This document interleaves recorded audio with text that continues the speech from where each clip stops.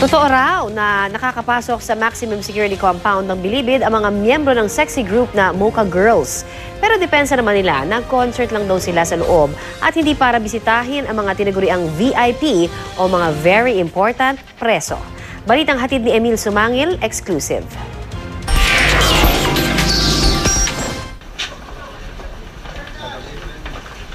Noong unay magagarbong kubol na nakulingan ng iligal na droga at pera at mga kontrabando. Meron pang kubol na mistulang recording studio at spa.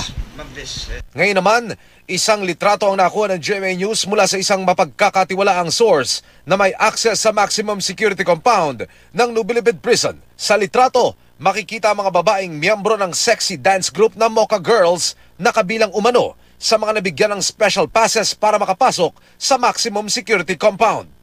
Ang larawan, kinuha na noong isang taon sa inmates visitation entrance kasama ang ilang prison guard.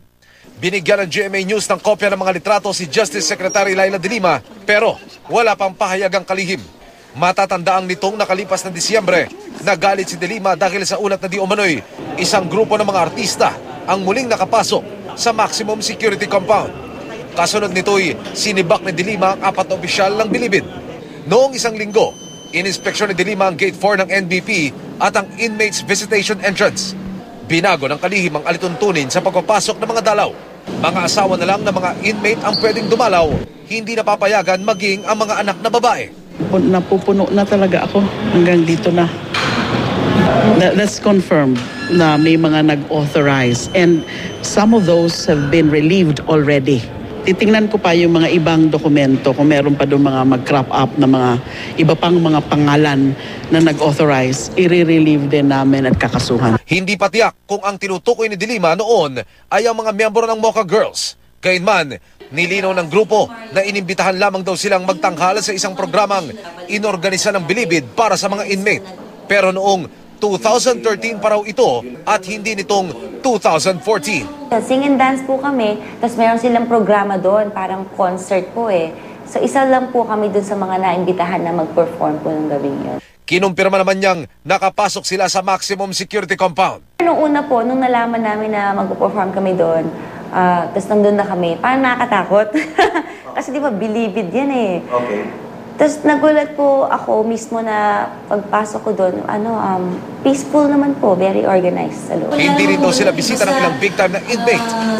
Sexy po ang imahe namin, yun po ang aming image bilang performers.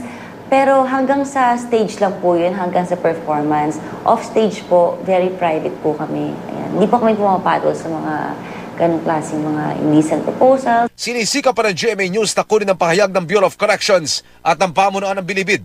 Patuloy naman ang investigasyon ng binuong Cleanup Oversight Team na inatasan ni Pangulong Aquino na tutukan ng mga nabistong irregularidad sa Bilibid. Hunyo noong nakaraang taon nang lumutang naman ang pangalan ng sexy star na si Krista Miller na di umano'y kabilang sa mga bumisita sa naospital na convicted drug lord na si Ricardo Camata. Tinukoy ng isang opisyal ng Bucor si Miller na isa umano sa tatlong babaeng nakunan sa CCTV camera ng Metropolitan Hospital sa Maynila na naging bisita ni Kamata May 31 noong isang taon. Pero nilinaw ni Miller na binisita niya si Kamata dahil binebentahan daw niya ito ng condominium. Naging kontrobersyal ang pagkakaospital ni Kamata dahil nabistong wala palang pahintulot ang DOJ na ilabas siya sa bilibid. Dahil sa kontrobersya, sinibak noon sa pwesto ang ilang opisyal ng bilibid at labindalawang jail guards.